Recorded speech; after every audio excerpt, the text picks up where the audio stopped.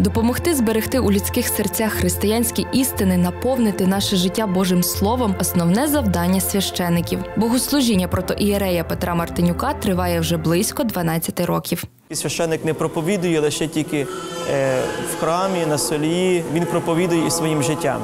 І тому боротьба з гріхом має бути, якщо має бути в кожного християнина, то в житті священника вона має бути подвійною, а то й потрійною. Священником може стати кожен, каже отець Петро. Для цього потрібна відповідна духовна освіта, але основне це любов до Бога і страх Божий, який повинен перебувати в кожному священнослужителеві. Кожен день е, священника розпочинається з молитви.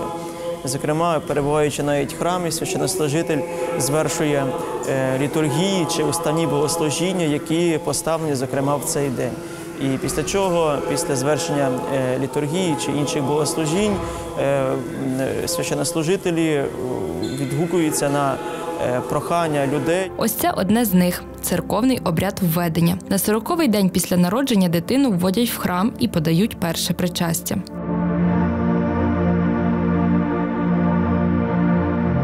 Що собою являє причастя? От якраз з'єднання із Христом відбувається у святому причасті, і це найбільша благодать Божа, яка людина може сприйняти у своєму житті, доторкнувшись своїми вустами до Бога.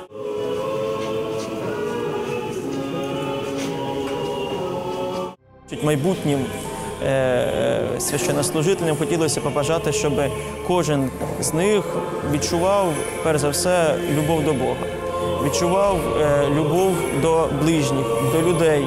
Бо не завжди служіння священника це служіння, яке ну, е, є надзвичайно е, таким, яке не потребує додаткових зусиль. Ні, для цього є своєрідна навіть терниста дорога священнослужителів. Кожна людина рано чи пізно відчуває поклик прийти до Бога, навіть якщо це просто бажання зайти до храму чи поставити свічку, каже протоієрей Петро Мартинюк. Ми не повинні приглушувати цей поклик, який нас проявляється, оскільки це є голос Божий у нашій душі. Тому пам'ятаємо слова Ісуса Христа, який сказав, що я стою біля дверей кожного серця і стукаю. І хто відчинить мені, до того я війду і трапезу справлю в ньому.